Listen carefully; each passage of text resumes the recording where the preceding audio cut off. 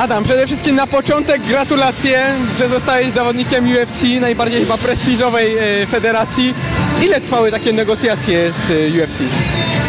Co ciężko stwierdzić. No pierwszą propozycję miałem w grudniu już, aby bić się w styczniu, ale nie, nie wziąłem tego, ale wiedziałem, że cały czas tam mój menadżer pracował nad tym, żebyśmy podpisali ten kontrakt, no i miałem to z tyłu głowy. E, Kiedy w takim razie planujesz pierwszą e, walkę w, w tej federacji? Szukamy, szukamy terminu, będzie to prawdopodobnie czerwiec, ale, ale nic jeszcze nie jest, nie jest pewne.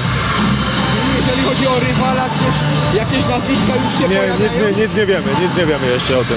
Jedyną walkę, którą przegrałeś de facto jest zawodnikiem, który też trafił do UFC. Czy gdzieś tam w głowie jest yy, taka, taka myśl, że to jest szansa na, na rewanż akurat na zasadach UFC? Nie, absolutnie. Marcin jest w ogóle wy- wyżej już w rankingu, a w ogóle uważam, że naszych polskich zawodników ciężkich jest tak mało, że powinniśmy współpracować, a nie rywalizować ze sobą.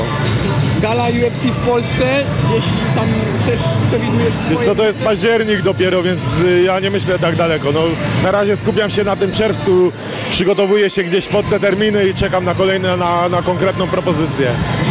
Tutaj też miałeś dzisiaj e, walczy, walczyć na tej e, gali. Nie żałujesz trochę, że przed tą galą tak się stało, że akurat nie mogłeś się tutaj swojej publiczności jeszcze raz zaprezentować? Bardzo chciałem, no ale jednak to jest, to jest UFC, organizatorzy i ja wiedzieliśmy, że może być takie, taka ewentualność, no i, no i trudno, no stało się, no niestety widownia musi ucierpieć, no ale, ale to jest cel, cel wyższy. Jak Ci się tutaj e, gala, jak byś ocenił tą galę?